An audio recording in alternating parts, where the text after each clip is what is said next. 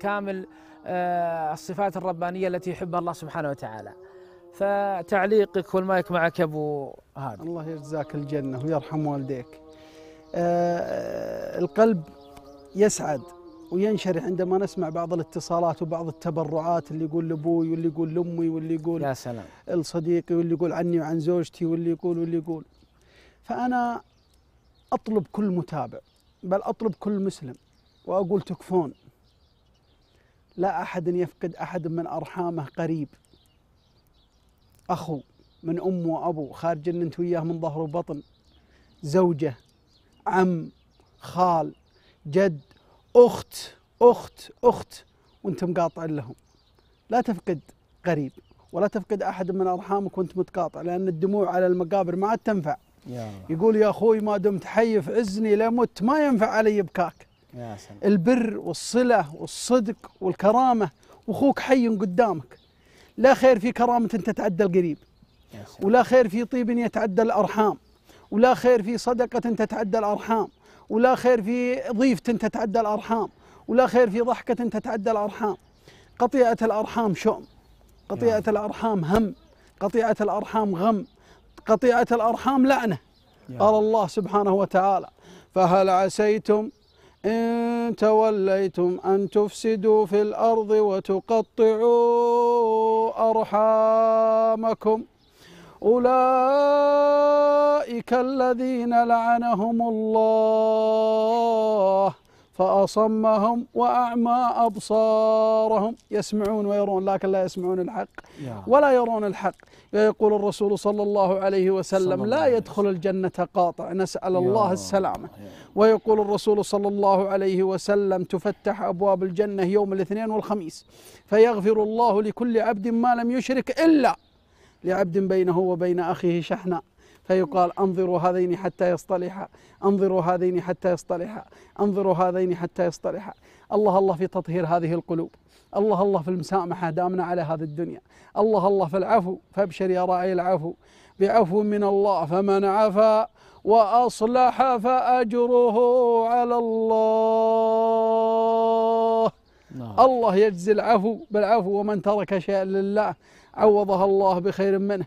اترك لله إذا كان علشان مال عند الله خزائن ملعا سبحانه وتعالى. يا سلام. علشان ورث عند الله خزائن ملأ. علشان قطعة أرض ولا طريق ولا شارع ولا جدار عند الله سبحانه وتعالى جنة عرضها السماوات والأرض. فالله الله أننا نحرص أن نسامح ونتقارب ونزور المريض وندفع والله الله في الأخت. كم من أخو فرط في أخته؟ كم من أخو نسي أخته؟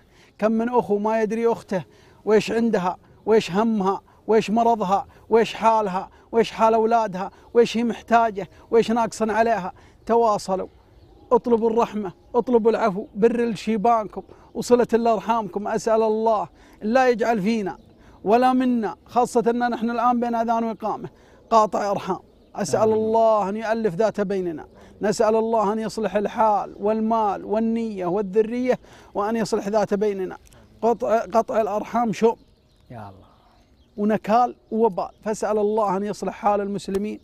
وناس ندخل بينهم وبعد ما يصلحون.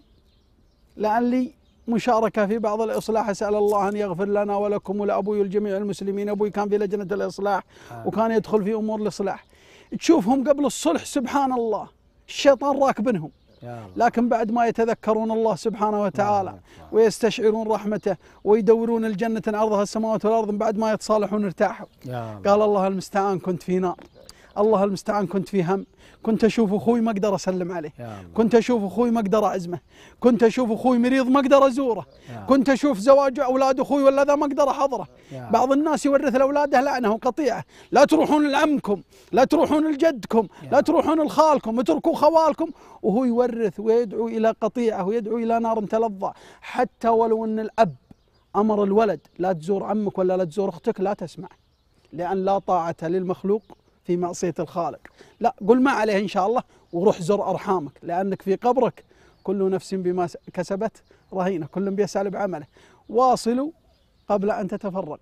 فإن الدنيا هذه إما فاقد ولا مفقود. وكم شفنا من دموع على القبور. سود الله وجهي فيك يا فلان.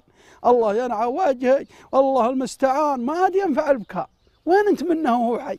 يا الله. الله يصلح الله يصلح حال المسلمين. ويكفانا وإياكم شر القطيعة وذنبها. الله أكبر. الله يجزاك خير. اللهم يعني الآن الله يجزاكم خير. آه، نداءك للمتقاطعين. الحين الحين أكيد في ناس يتابعونا. آه،